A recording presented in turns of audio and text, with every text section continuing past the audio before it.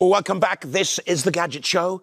And what is this I see before me? Mr. Ortis Deley and a box, which leads me to deduce that it's time for a bout of unboxing. Hey, not much gets past you, eh, Smarty Pants? Hey. It is a box. And what is it in the box? A recording studio. I- I'm no expert. Well, kind of. But um, even I know that's too small for a recording studio. That's where you're wrong, you see, because inside this box, I am told, Mm-hmm. is a one touch professional recording studio. Okay, so small that it fits in the palm of your hand and allows you to record music anytime, any place, anywhere. Okay, what's it called? It's called the Spire Mm-hmm. Recording Studio. Okay, it has built-in microphone, four-hour battery, six hours of storage.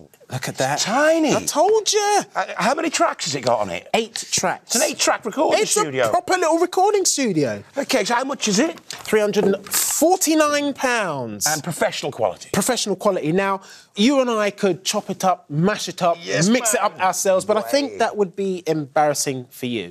so why not take this opportunity to engage the talents of a real musician Hmm. uh, and longtime friend of the show and a live looping technologist, no less. Okay. A round of applause, please, for SK Shlomo. Hey, Shlomo!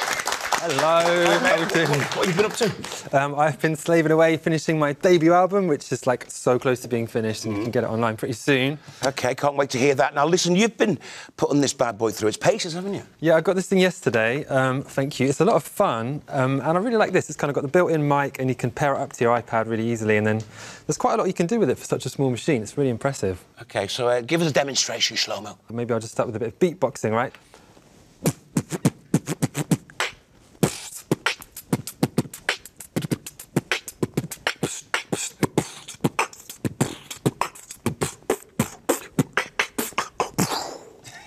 Hey! You could not have done that. No, I can do that. I can do that. So I'm just using the built-in mic. Let's see what it sounds like, right? That's pretty nice. So if I want to put another layer on top, you can put these recording effects on. So I'm going to put a bit of reverb on. So I'm going to try layering up a bit of guitar. There we go.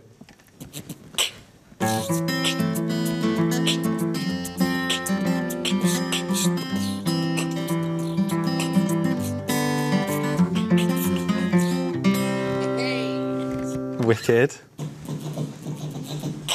Oh, oh my days, I've escaped, found my way, found my way. Cool. The last thing I wanted to do was record everybody in the room just to show how good this mic is. So, like, Okay. um, there's three things I want everyone in the room to shout, if you don't mind. We're going to shout, um, oh, when I point at you, is the first one. The second one is days. The third one is hey. And the last one is found my way. You Okay? want the whole room to sing. You'd Found be My Way. amazed. You'd be amazed how good it's going to sound. Oh! Days! Hey! Found my way! Here we Should we listen to our masterpiece? No, let's not Yes. listen. We've got, if you tap on this mix here, you can kind of take all the layers that are there and you can pan them and change the volumes of them and Look get them all at right. that! So that last one, if we want to change how loud it was.